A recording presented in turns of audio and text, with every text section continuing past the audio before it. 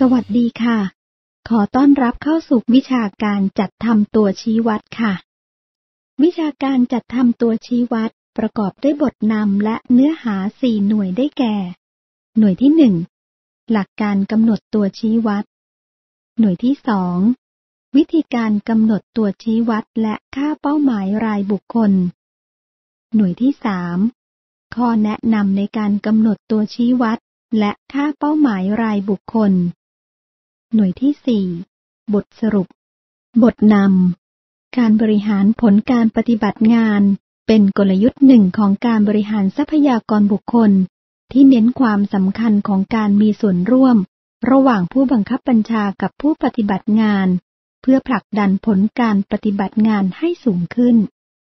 โดยการบริหารผลการปฏิบัติงาน เป็นกระบวนการต่อเนื่อง ที่จะช่วยผลักดันให้การปฏิบัติงานของผู้ปฏิบัติงานทุกระดับ สอดคล้องกับทิศทางและเป้าหมายขององค์กรค่ะ ซึ่งผู้ปฏิบัติงานแต่ละคนจะได้รับทราบเป้าหมายผลการปฏิบัติงานของตน ตั้งแต่เริ่มต้น และยังเห็นถึงภาพความเชื่อมโยงของงาน ที่ตนรับผิดชอบ กับผลสำเร็จขององค์กรทำให้ผู้ปฏิบัติงานทุกระดับ ทำงานเพื่อผลสำเร็จต่อภารกิจขององค์กรอย่างแท้จริง กระบวนการบริหารผลการปฏิบัติงานประกอบด้วย 5 ขั้นตอนหลักได้แก่ 1. การวางแผนและการกำหนดเป้าหมายผลการปฏิบัติงาน 2. การติดตาม 3. การพัฒนา 4. การประเมินผลการปฏิบัติงาน และ 5. การให้รางวัล โดยทุกขั้นตอนมีความสำคัญและส่งผลต่อกัน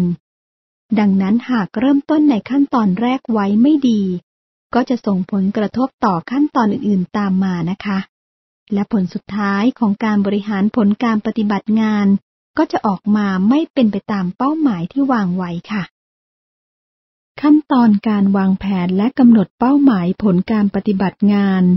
เป็นการกำหนดผลสำเร็จของงานและเป้าหมายที่องค์กรคาดหวัง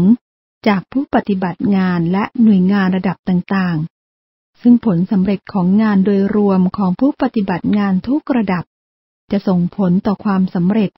ตามเป้าหมายขององค์กรค่ะ ดังนั้นในขั้นตอนแรกนี้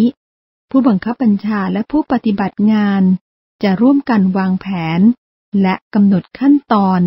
หรือวิธีการปฏิบัติงาน เพื่อให้ทั้งสองฝ่ายเข้าใจร่วมกันเกี่ยวกับเป้าหมายขององค์กร ว่าจะต้องทำอะไรให้สำเร็จในเวลาใด เหตุใดจึงต้องทำสิ่งเหล่านั้น และผลสำเร็จของงานที่คาดหวัง ควรมีคุณภาพอย่างไรกำหนดปัจจัยชี้วัดผลสำเร็จของงาน รวมทั้งมาตรฐานผลงานที่สามารถวัด ประเมิน เข้าใจ ตรวจสอบได้ มีความเที่ยงธรรม และสามารถปฏิบัติให้บรรลุผลสำเร็จได้จริง นั่นก็คือการกำหนดตัวชี้วัด ผลการปฏิบัติงานระดับบุคคลค่ะ ตัวชี้วัดผลการปฏิบัติงานระดับบุคคล หรือที่เรียกสั้นๆว่า ตัวชี้วัดนั้น จึงเป็นเครื่องมือที่จะช่วยให้ผู้บังคับบัญชา ใช้ในการกำกับการปฏิบัติงานของผู้ปฏิบัติงาน เพื่อให้การปฏิบัติงานเป็นไปดังที่คาดหวังไว้ นอกจากนั้น